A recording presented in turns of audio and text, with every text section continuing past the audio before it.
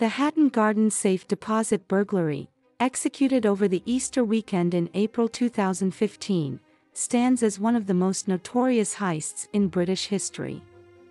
Located in London's prestigious jewellery district, Hatton Garden, this audacious theft targeted the Hatton Garden Safe Deposit Company, resulting in an estimated £14 million, $20 million, loss in cash, jewelry, and other valuables. The heist was orchestrated by a group of elderly criminals, who were dubbed the Bad Grandpas by the media due to their advanced ages.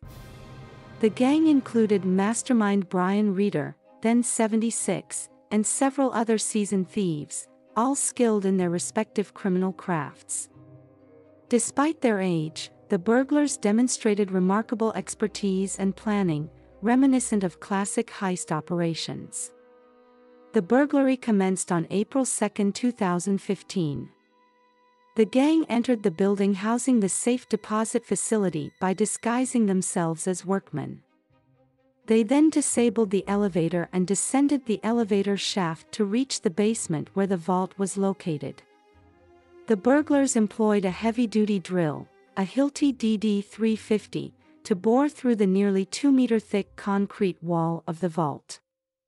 This meticulous drilling process took hours, and the gang had to temporarily retreat when the drill overheated, returning later to complete the job. Inside the vault, the thieves found a trove of safety deposit boxes, many of which contained valuable jewels, gold, and cash. They methodically ransacked the boxes, taking their time to select the most valuable items. The burglary was not discovered until the following Tuesday, April 7, when staff returned after the long weekend and found the vault breached and in disarray. The police investigation, dubbed Operation Fidelity, soon kicked into gear, employing surveillance footage and other forensic evidence to track down the culprits. A breakthrough came from analyzing cell phone signals and vehicle registrations, which led to the arrest of several gang members. The subsequent trial revealed the meticulous planning and execution of the heist, as well as the internal dynamics and disagreements within the gang. Several members were convicted and received substantial prison sentences, although not all the stolen items were recovered.